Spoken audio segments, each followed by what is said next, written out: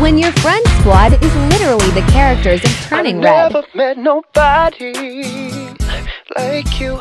Had friends and I've had buddies.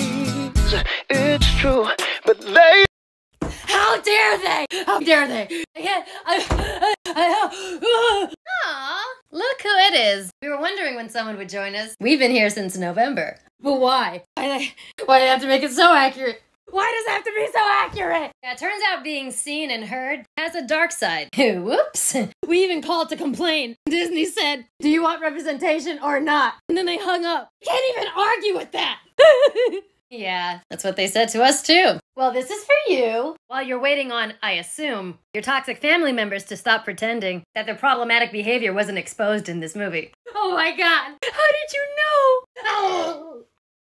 Here are some fun facts about Turning Red. The songs sung by the fictional band in the movie Four Town were actually written by none other than Billie Eilish and her brother Finneas. That checks out. And before they started casting, for the voice of Mei, they hired a 12-year-old actress, Rosalie Chiang, who lived close to Pixar headquarters and they just needed her for what they call scratch vocals. But very quickly into the casting process, they realized that she was actually perfect for the role and gave it to her. And this movie actually has a lot of firsts for Pixar, so let me just list them off. First Pixar movie to take place in Canada, first Pixar movie to depict diabetes, and the first Pixar movie ever to be solely directed by a woman. Only took 25 movies, but hey, they got there. And finally, for all you Pixar nerds, the Pizza Planet truck is in this movie and can be spotted at this time stamp. Alright, and that's all for today. Stay tuned for more.